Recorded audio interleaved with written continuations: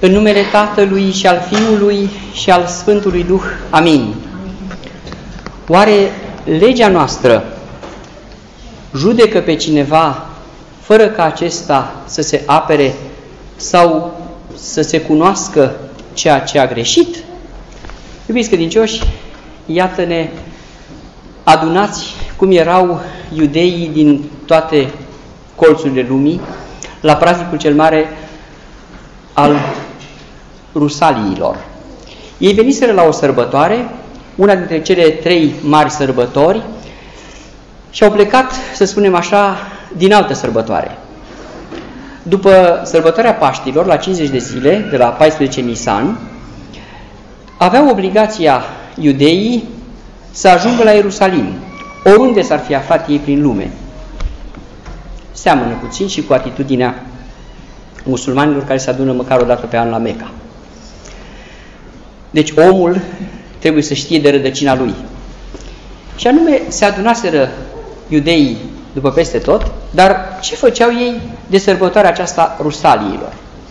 Sărbătoarea Rusaliilor era mai degrabă legată de un rit agricol. Se aduceau jertfe în amintirea jertfei pe care Cain și Abel au adus-o lui Dumnezeu.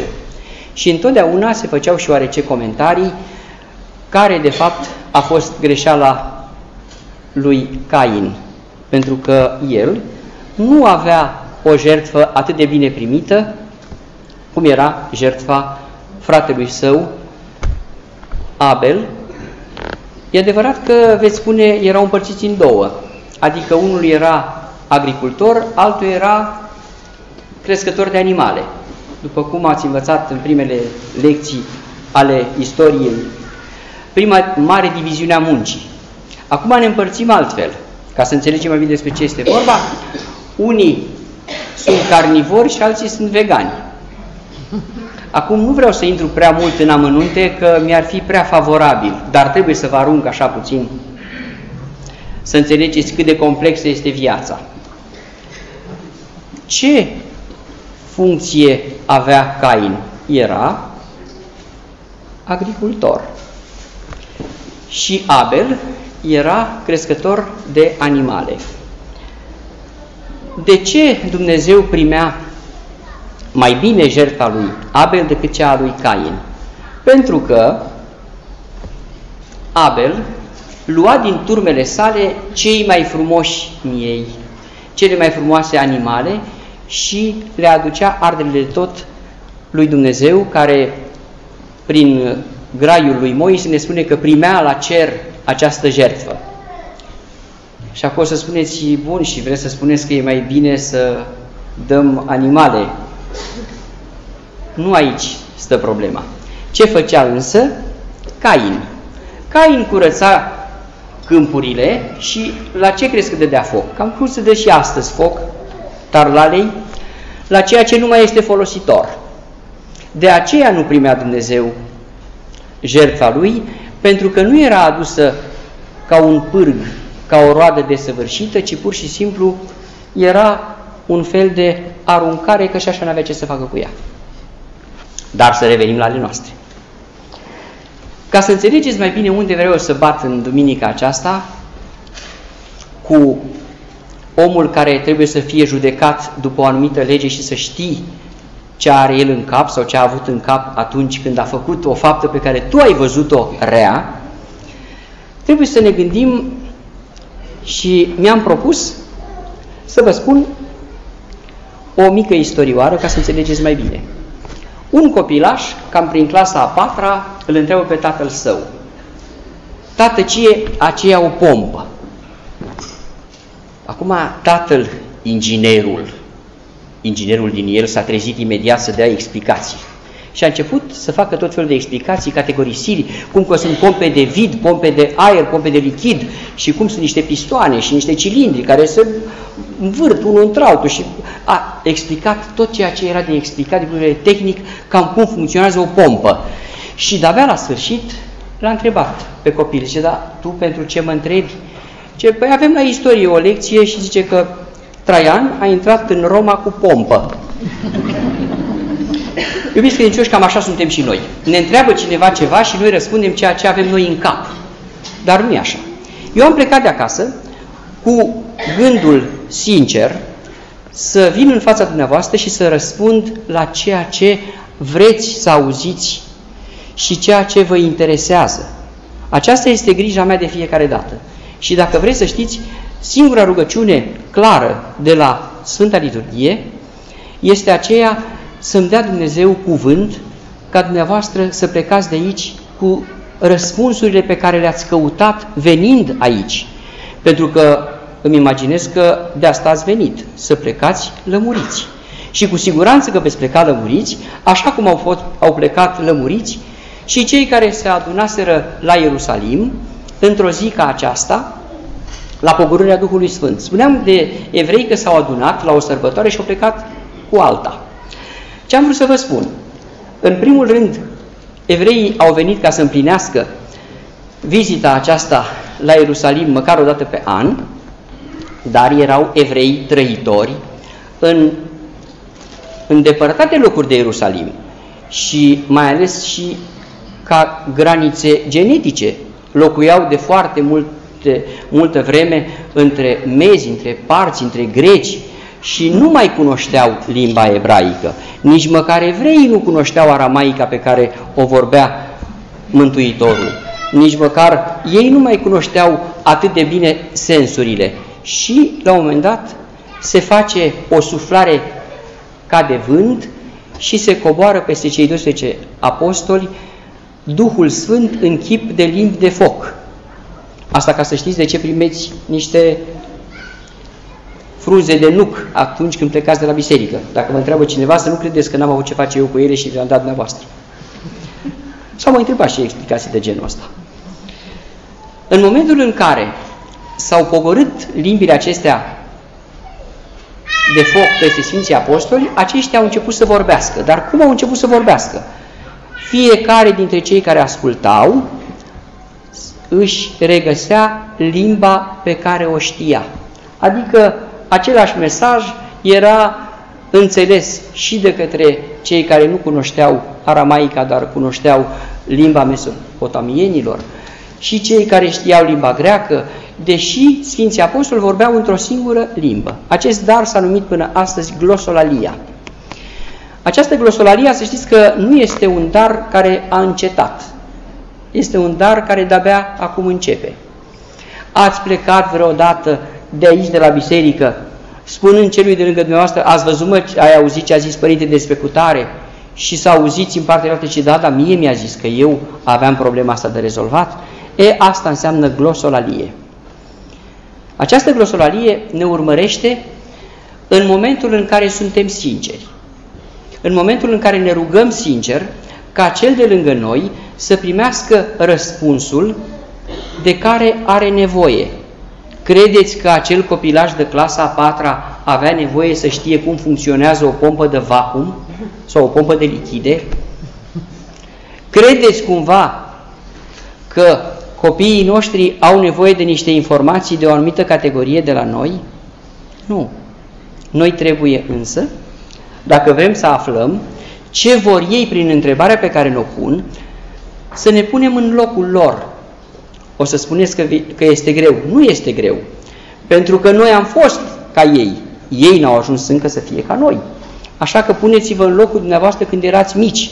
Și numai așa puteți să răspundeți sincer unui om care te întreabă ceva. Altfel, devii ridicol, îi răspunzi altceva decât are el nevoie. Și să mergem mai departe. Cum este relația noastră cu ceilalți? Ce relație avem noi, în primul rând cu Dumnezeu, apoi cu noi înșine și cu cel de lângă noi? Asta înseamnă o invitație clară la Cain și Abel. Dumnezeu primea, așa cum am spus, jertfa lui Abel pentru că era una dintre ceea ce avea mai frumos Abel de dăruit și de aici trebuie să învățăm și pentru copiii noștri. Atunci când avem ceva deosebit de dăruit, să dăm copiilor noștri. Dar să vedem ce credem noi că avem deosebit de dăruit. Dacă, de exemplu, îi dăruim copilului nostru o traiectorie în viață, să ne întrebăm sincer, nu cumva acea traiectorie este ceea ce n-am putut noi să realizăm și nu cumva este o frustrare? Nu cumva n-am ajuns noi nu știu ce în viață și trebuie să atârnăm asupra copilului această sarcină? Așa pe din afară pare frumos ca cineva să-și dorească pentru fiul său să ajungă medic, inginer și așa mai departe. Dar poate că el nu vrea să ajungă acolo. Dar nu că nu vrea din căpoșenie. Nu vrea pentru că nu simte pentru lucrul acela nimic. Și atunci, nu cumva ne apropiem și noi cum s-a apropiat Cain de Dumnezeu, care a adunat buruienile din holdele lui mănoase și le-a pus acolo pe un foc și le-a dat lui nu cumva așa facem și noi copilul nostru?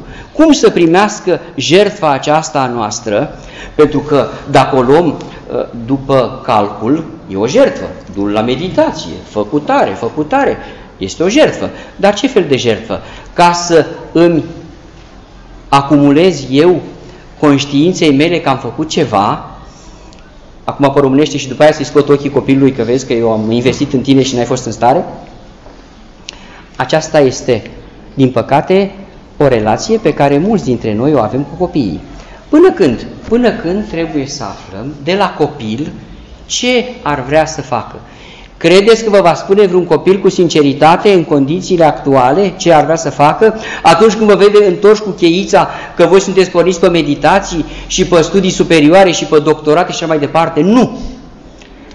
Trebuie să ne detașăm puțin astfel încât copilul să aibă o marjă de sinceritate. Și ne trebuie un antrenament. Nu putem să-l tragem de urechi până la clasa 4 a 5 -a, să scrie frumos sau să socotească mai repede decât un coleg de-al lui și de la clasa 8 a 9 să începem să spunem că noi îl lăsăm să meargă unde trebuie, unde vrea el. Nu va crede mesajul acesta.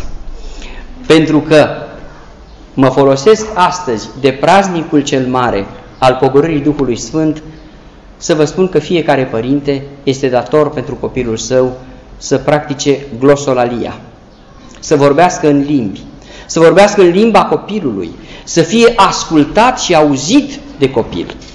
Să știți că primul lucru pe care îl constatăm la copiii noștri, eu am avut marea bucurie ca săptămâna aceasta să vorbesc unui grup de elevi de clasa 8 -a, despre un fel de orientare școlară și profesională, cum se făcea odinioară. Am înțeles că se mai face și acum, dar la alte nivele. Și, bineînțeles, nu știu dacă o parte din noastră cam știți cam cum uh, stau copiii ăștia de clasa 8 -a, n-au răbdare la nimic, nu interesează nimic.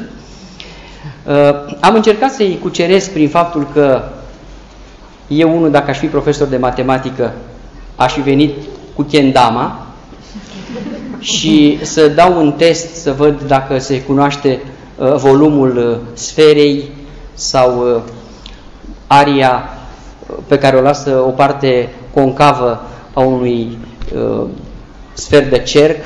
Adică aș lua așa, pur și simplu, instrumentul acela numit kendama și l-aș tăia în bucățele și să învățăm despre el. Mi s-a spus că n-a făcut niciun profesor de matematică, înseamnă că trebuie să mă apuc și de treaba asta. După care le-am vorbit despre uh, partea echilaterală dintr-un spinner. Ei credeau că eu vin după altă planetă, că eu mă întâlnesc cu Dumnezeu altfel. Nu, eu mă întâlnesc cu Dumnezeu în parc. Când îi ved pe copii fericiți. Atunci când vezi în, într-un parc un copil care, în loc să se uite la, adică în loc între ghilimele, uh, să butoneze telefonul, este cu chendama în mână, mie vin să-l pup. Și să știți că de multe ori m-am dus era să o iau de la câțiva părinți care au crezut că, da, figura mă ajută. I-am îmbrățișat pe unii pentru că mi-a plăcut, mi-a venit drag de ei. Și am apreciat. Atunci vezi dacă acelui copil i s-a creat uh, acel climat de sinceritate. E, acelui copil poți să-i zici oricând, măi, tu gândește-te ce vrei să faci în viață. Eu te las cu această kendama ca să-ți dai seama de ce abilități ai. Bă, poate omul are abilități de zugrav. Păi nu zâmbiți. Pentru că eu am văzut zugrav fără abilități. Și scade încuiala după aia. Trebuie să știm că noi suntem de vină dacă au ajuns zugravi așa. Pe de altă parte, și zugravii, că nu, eu nu las, niciodată nu, nu rămân dator. Trebuie să învețe niște lucruri. Cineva a făcut un experiment foarte interesant, a spus, fraților, bun, ați muncit, da, să-mi spuneți cât trebuie să vă dau. Păi cum adică? Deci să calcula suprafața la toate spațiile. E, când au ajuns la un trapez, au zis că nu știu. Zice, bine, pe, pe bucata asta era o, un spațiu creat de Casa Scării. Și a zis, pentru asta nu primiți niciun leu. Cum? Uite așa. Dacă n-ați învățat aria trapezului. Adică, zugrav, zugrav, dar trebuie să mai știți și câte ceva. E, să revenim acum la relațiile noastre, pentru că praznicul acesta, să înțelegeți, eu nu vreau să plecați acasă uh, fără să știți ce s-a întâmplat astăzi și ce se întâmplă de 2000 de ani în biserică cu marele praznic al pogorârii Duhului Sfânt. A, să mă apuc să vă spun că e întemerea bisericii, că, băi copii, eu vreau să mergem mai departe. Nu vreau să-L prezentăm pe Dumnezeu uh, ca un spectator așa și El este pe prompter și noi să spunem acesta este Dumnezeu care este uh, unul în ființă și întreit în persoane? Nu. Eu vreau să vă spun că Dumnezeu este în familia noastră și în relația noastră cu copiii, cu noi înșine și cu vecinii noștri. Asta e Sfânta Treime, dacă vreți să înțelegeți Sfânta Treime. Nu vă apuc acum să vă spun Dumnezeu Tată, Fiul, Duhul Sfânt care s-a pogorât astăzi. Vreau să plecați de acasă învățând că de fapt pogorârea Duhului Sfânt este comuniune, dar trebuie să știm cum facem comuniunea. Atunci când uh, spuneau, spunea uh, cel din Evanghelia de astăzi, oare legea noastră de voie să judecăm pe cineva fără să-l ascultăm? Nu zicea de legea mozaică, nu zicea de nicio lege clară, zicea legea din noi, ca să înțelegem mai bine, pentru că altfel ne așezăm în fotoliul telespectatorului și să ne uităm așa, a, Nicodim, da, Nicodim a zis-o pe asta. Nu, a zis-o pentru noi, n-a zis-o pentru legea lor, pentru legea din mine. Legea din mine îmi dă voie să judec pe cineva fără să-i cunosc vina și fără să-i ascult apărarea și revenim la copiii noștri. Ne apucăm să tragem de copiii noștri să se ducă în direcția în care îi orientăm noi, este cea mai mare greșeală. Și aș vrea să înțelegeți că oricât de buni părinți credeți că suntem, nu este așa. Trec peste episodul cu punctualitatea care era să strice copilăria fetelor mele și ajung acolo acum după ce fata cea mare a făcut și a doua facultate. Și ce nu era mai bine să mă fie apucat eu după în clasa 10 de make-up? Și are dreptate. Are dreptate. Pentru că înseamnă că nu am avut suficientă luminare și uh, posibilitate de a intra în legătură sinceră și să întreb, măi, de fapt, ce vrei să faci tu? Apoi cu jurnalismul ăsta nu i-am zis nici că o să ajungă bine, nici rău. Uh, eu am crezut că dacă eu am avut în cap să fiu preot de când mă știu și m-am dus pe ideea asta, am uitat însă că au fost și episoade în care a trebuit să mă strecor așa, adică să nu scriu nimic la un examen ca să mă pot duce la seminar și așa mai departe. Am uitat. Și promit că îmi voi aduce aminte pentru nepoata mea Anelis. N-am să mai las părinții ei să greșească cum am greșit eu. Pentru că sunt dator să învăț în continuare și să transmit acest mesaj. Lăsați copiii să facă ceea ce simt ei că este bine și în momentul în care simțiți că ei de fapt nu știu să facă nimic, atunci nu intrați în panică. Întrebați-vă duhovnici și vă vor da răspunsuri. Răspunsul meu ca duhovnic pentru cei care mă cunosc este următorul. Nu există ca un copil să nu aibă nicio preocupare. Nu există ca un copil să spună că nu vrea să facă nimic. Nu, nu a fost lăsat să facă. Poate că dacă l-ați obstrucționat vreodată, atunci când l-ați văzut că joacă un anumit joc, atunci ați greșit cel mai tare. Eu știu programatori care sunt angajați, au fost angajați acum trei ani ca juniori prin uh, Germania, care ce făceau? Programau exact jocuri. Ce jocuri? Cele pe care dumneavoastră nu îi lăsați pe copii să le joace. Și de unde au învățat ei programarea aceasta? Exact din aceste jocuri. Nu vă jucați cu jocurile copiilor. luați seama, întotdeauna copiii noștri știu exact ce vor să facă în viață, dar nici măcar 1% nu cred că ajunge să facă ceea ce simte în viață. Pentru că după ce a trecut cheful unui copil de a face ceva și noi ca părinți am stricat și i-am luat entuziasmul acesta, nu-l mai poate face cu același entuziasm. De aceea trebuie să fim foarte atenți. Ziua de astăzi este ziua comuniunii și să nu credem că între noi și copiii noștri este comuniune perfectă, pentru că nu este. Și aș vrea să aflăm mai de tineri. Mă, dacă am ratat-o cu copiii, v-am zis, măcar eu am acum un gând să nu ratez cu nepoții. Aș vrea să știți că nu trebuie neapărat să ai copil, ci să ai cu cine să comunici. Copil poate să fie și persoana din tine care avea niște pretenții când erai mic și te-ai făcut mare și nu te-ai ținut de cuvânt. Asta este relația cu copiii. Dar să trecem mai departe la relația noastră cu Dumnezeu. Acum, ca să închei în aceeași notă cu uh, Cain și Abel, ce o fi fost în mintea lui Cain? Zice, mă, și de la fratele meu iese din uh, oaia lui sau ce pune el acolo pe, pe foc, fum. Înseamnă că Dumnezeu vrea fum. Scurt. Dar, așa putem să uh, confundăm și noi ce vrea Dumnezeu de la noi. Și te uiți așa la, la vecinul și ți se pare ție, la, uite, mm, asta ce face? Face focul. Da, deci Dumnezeu îți place fum. Pa, bași tu pe foc. Dar nu te uiți ce calitate a băgat ăsta pe foc și ce calitate bași tu pe foc. Problema este alta însă. Trebuie să fim sinceri.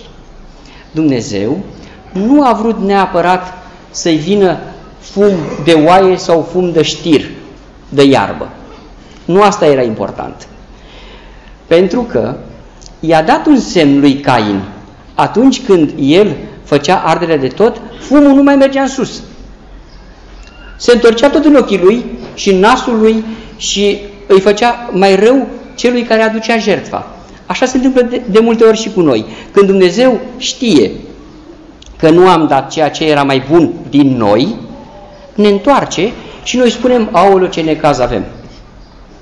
Și apropo de necaz, să știți când este un necaz și când este o pagubă sau o problemă minoră. Dacă un așa zis necaz se poate repara cu bani, aceea este o pagubă, nu e un necaz. Și înseamnă că n-am folosit atunci când a trebuit, unde a trebuit, o anumită sumă și Dumnezeu ne cere așa un răgaz. Așadar, nu trebuie să ne mai avem în minte că Dumnezeu ne-a dat vreun necaz. Trebuie să știm că și acel necaz pornește tot de la noi. Să vă aduc aminte de un uh, vultur care trecea prin aer, un șoim, un șoim trecea prin aer și la un moment dat este atins de o săgeată mortal și în drum spre pământ, din zborul lui frânt, a văzut că săgeata aceea avea la capătul ei pentru a-și ține direcția o pană de șoim. Și a zis, iată, necazurile tot de la noi vin.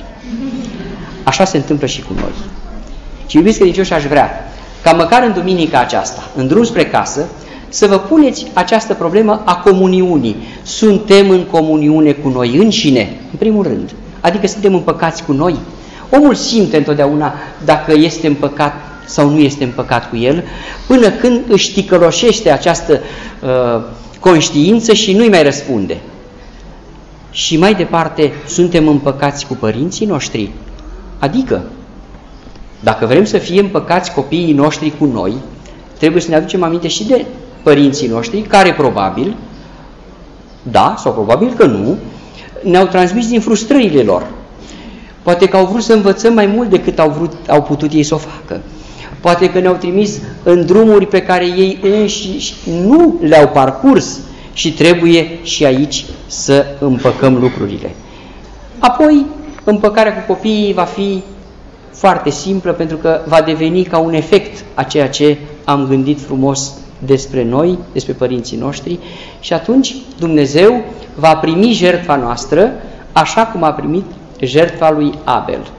Dumnezeu vrea comuniune și dacă acest mare praznic al pogorârii Duhului Sfânt ne ține pe toți la un loc, cu siguranță că acesta este praznicul comuniunii, în care este bine să ne bucurăm numai, nu numai astăzi, ci tot timpul vieții noastre. Așa să ne ajute Bunul Dumnezeu.